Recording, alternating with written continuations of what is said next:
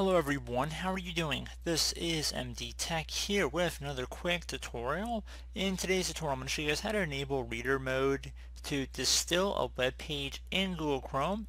So basically this is another reader feature that you might be familiar with in other browsers as well where it will simplify the view of the web page to make it easier to read. So different elements that might be on the page such as menus, different scripts, advertisements, whatnot will be removed to make it a more clean and easy to read web page. So in this tutorial I'm going to show you guys how to enable this new feature in Google Chrome.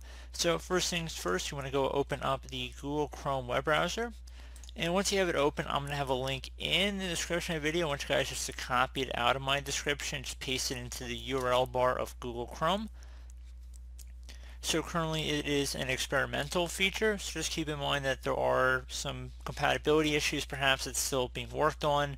And there is a little disclaimer on the Chrome flag page as well that says by enabling these features you could lose browsing data or compromise your security or privacy. This is more probably just a disclaimer to protect Google's liability, but now that we've addressed that, you want to scroll down until you get to the area that says Enable Reader Mode. Allow viewing or simplified web pages by selecting Customize and Control Chrome, Distill Page, and this should apply for Mac, Windows, Linux, and Chrome OS.